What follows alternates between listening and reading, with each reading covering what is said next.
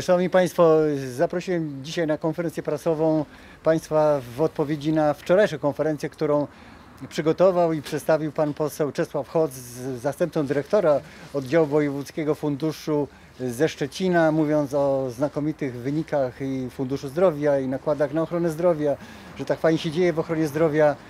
Dzisiaj razem ze mną jest pan e, marszałek Janusz Gromek, który jest członkiem zarządu województwa zachodniopomorskiego, między innymi również odpowiada za ochronę zdrowia. I zupełnie spontanicznie, będąc podczas wizyty y, na terenie naszego powiatu, pan e, poseł, pan minister Bartosz Arłukowicz, myślę, że autorytet, jeżeli chodzi o sprawy związane z ochroną zdrowia, na pewno też wykorzystamy jego obecność. Ja tylko krótko, no, skoro wczoraj, jak Państwo e, zauważyliście w tych wystąpieniach pana dyrektora i pana Czesława Hossa, pana posła, jest tak świetnie w Funduszu Zdrowia, skoro rosną nakłady na ochronę zdrowia, skoro jest tak dobrze, to dlaczego jest tak źle z drugiej strony, można by powiedzieć. Sieć e, szpitali, która została wprowadzona e, rok temu, spowodowała, że te właśnie szpitale, o których tak dużo mówił pan dyrektor funduszu, e, powiększyły swoje zobowiązania o kolejne 650 milionów złotych. Mówię tylko o szpitalach powiatowych. Dzisiaj sytuacja szpitali w Polsce jest taka i ochrony zdrowia, że dług generalnie jest 13,5 miliarda złotych, to są długi naszych wszystkich szpitali i ochrony zdrowia. W tym jest 2,5 miliarda wymagalnych zobowiązań. To jest y, po, po, rzeczywista jakość dzisiejszej nakładów na ochronę zdrowia. Te dodatkowe środki, o których wczoraj tak, tak dużo i, i, ładnie mówił pan dyrektor, to nie są pieniądze przeznaczone na podwyżki dla fizjoterapeutów, ani też dla e, psychologów szpitalnych, klinicznych. To są te, te, te zwyżki wycen e, za chirurgię, za, za internę, czyli tych najczęściej wykonywanych procedur.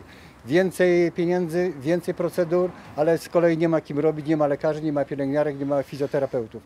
Strajkują wszędzie oczywiście poszczególne grupy zawodowe, grupy medycznych. Jest to związane z tym, że, że te obietnice, te, te, te rzeczy, o których mówi cały czas PiS i, i minister zdrowia są zupełnie nierealne, jeżeli chodzi o ochronę zdrowia ponieważ te nakłady rzeczywiście rosną, ale to nie rosną w wyniku tego, że tak dobrze PiS sobie radzi z ochroną zdrowia, tylko dlatego, że jest coraz większa składka, są wyższe wynagrodzenia, dlatego też Fundusz Zdrowia ma więcej środków na szpitalnictwo, ale i tak to jest zdecydowanie za mało, bo obiecane 6% PKB, o którym tak też głośno mówiło się rok temu, y, będzie osiągnięte może w roku 2050. Myślę, że pan minister mógłby więcej powiedzieć, bo, bo jest przewodniczącym przede wszystkim też Komisji Zdrowia, w której też mam zaszczyt być, być członkiem minister y, poprzedniego y, resortu, więc bardzo proszę panie, panie ministrze. Szanowni Państwo, no, trwa taki festiwal e, zaklęć tego rządu. E, Wychodzą poszczególni e, przedstawiciele rządu i zaklinają rzeczywistość, że sytuacja się poprawia. No więc poprawia się w taki sposób, że zlikwidowano ponad 5 tysięcy łóżek w szpitalach powiatowych. To są twarde fakty o stanie systemu ochrony zdrowia w Polsce. Jeśli pan premier i inni ministrowie zaklinają rzeczywistość, że jest tak dobrze, to zapraszamy naprawdę na szpitalne oddziały ratunkowe.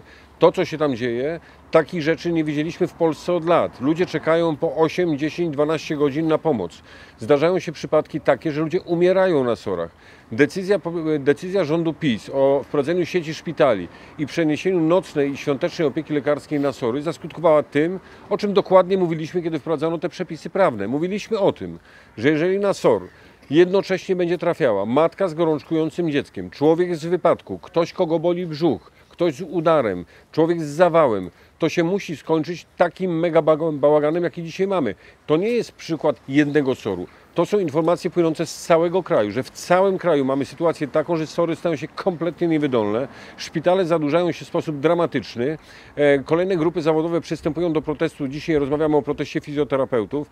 Ja proponuję, żeby pan minister zdrowia naprawdę zajął się czymś innym niż e, wiecznym zaklinaniem rzeczywistości. Praca ministra zdrowia polega na reagowaniu na pojawiające się problemy, a my tego kompletnie nie widzimy w działaniach ministra Szumowskiego.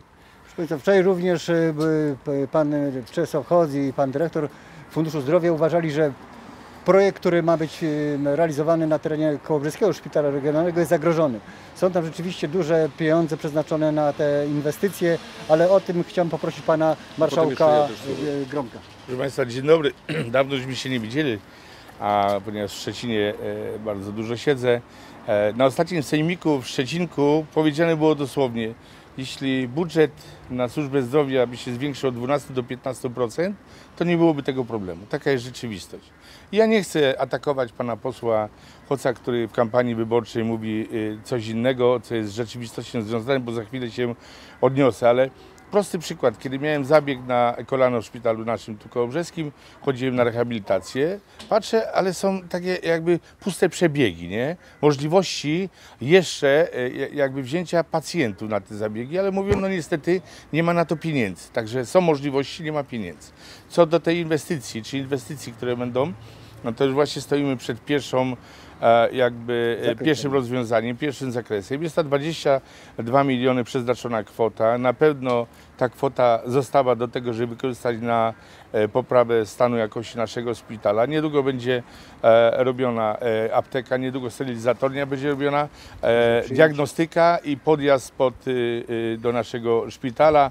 A ja się modlę tylko o to, żeby te y, przetargi wyszły jak najsprawniej y, y, rozstrzygnięte, e, żeby ta realizacja była w granicach tych finansowych, choć jest pewna pula pieniędzy jeszcze zabezpieczona na rezerwę. Ja e, e, informuję wszystkich mieszkańców Kołobrzegu, jak i regionu, którzy korzystają z naszego szpitala, nie ma zagrożenia tych pieniędzy. Jest inżynier kontraktu powołany i poszczególne etapy realizacji tej inwestycji za kwotę 22 milionów co najmniej będą robione. Także cieszę się bardzo, a, e, że te pieniądze są. Na pewno obserwuję e, realizację tego, co, co ma być e, robione i będę pilnował tych pieniędzy. Dziękuję. Szanowni Państwo, przedstawiliśmy także jako Koalicja Europejska plan na zdrowie.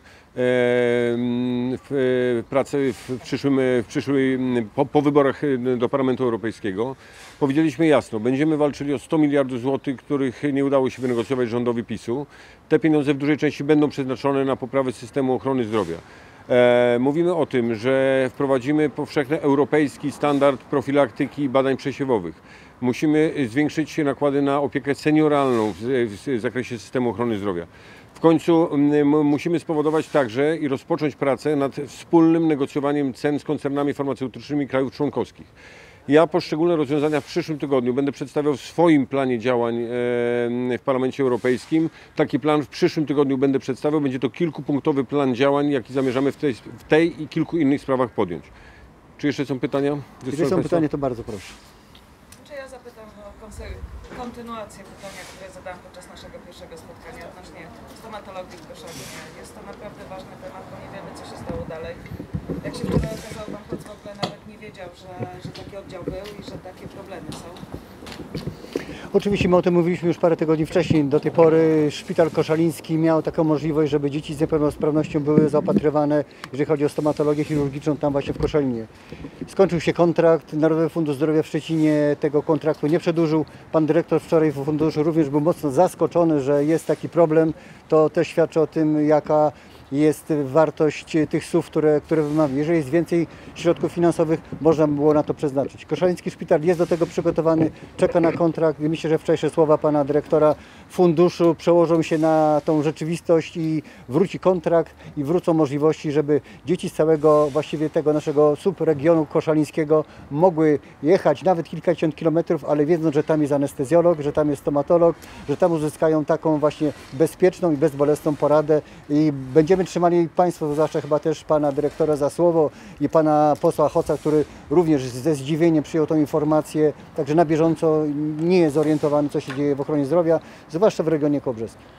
Ja wykorzystując także Państwa obecność na sekundę chciałem też zmienić temat. E, Wykorzystując to, że jestem tutaj z panem posłem Hokiem, mieszkańcem Kołobrzegu i z byłym prezydentem miasta Kołobrzegu, wieloletnim prezydentem Januszem Gromkiem, chcieliśmy z tego miejsca zaapelować do wszystkich mieszkańców Kołobrzegu i powiatu kołobrzeskiego o to, żebyście Państwo poszli 26 maja na wybory. To jest dzień e, kluczowy dla przyszłości Polski. 26 maja zdecydujemy o losach Polski na najbliższe 8-12 lat. Zwracam się do wszystkich mieszkańców Kołobrzegu. Pójdźcie Państwo na wybory. Jeśli e, mogę Was do tego przekonać, oddajcie głos e, na mnie. Mam miejsce drugie na liście Koalicji Europejskiej. Ale najważniejszym jest to, żeby nikt nie został w domu. Pójdźmy wszyscy do wyborów, pokażmy, że potrafimy budować rekordową frekwencję w województwie zachodniopomorskim i lubuskim. To jest mój gorący apel. E, stojąc razem z panem posłem Hokiem z Kołobrzegu, z panem prezydentem Gromkiem, prosimy e, Państwa o to, pójdźcie na wybory 26 maja. Dziękuję bardzo. Dziękujemy. Dziękujemy.